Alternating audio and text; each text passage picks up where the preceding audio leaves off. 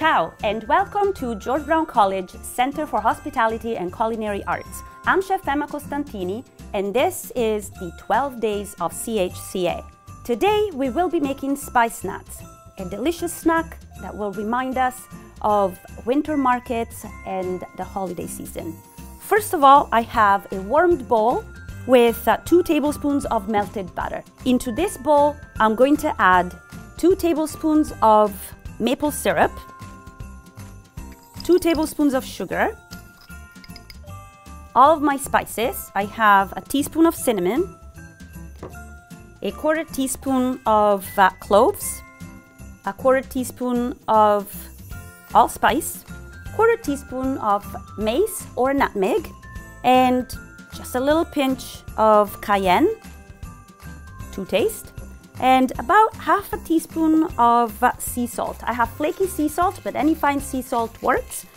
If half a teaspoon is too much for you, you can use a little bit less. We are going to mix all of our spice mix with the sugar and maple syrup and the butter. I'm going to add about four cups of nuts, which is about a pound. And mix everything thoroughly in order for us to coat all of the nuts with this spiced and sweet goodness.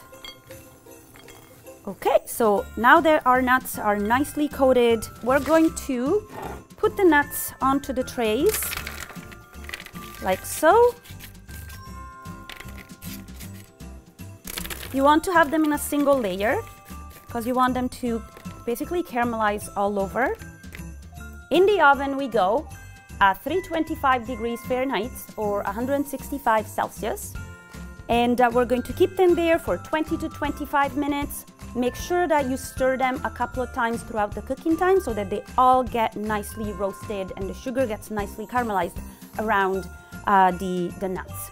So we will be right back with our cooked nuts. Our nuts are ready. Make sure you let them cool down completely to then put them into a nice jar. You can use a recycled jar. And uh, all we're going to do now is fill it with this beautiful nuts.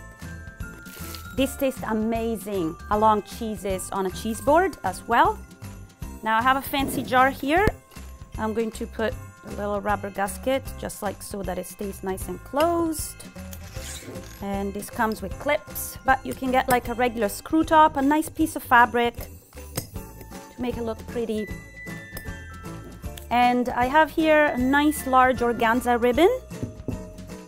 Anything works really. And all we're going to do is make a beautiful wrap. Just like a nice large bow to make it look excessive. And here we go. Happy holidays, everybody, and thank you for watching the 12 days of CHCA. Ciao!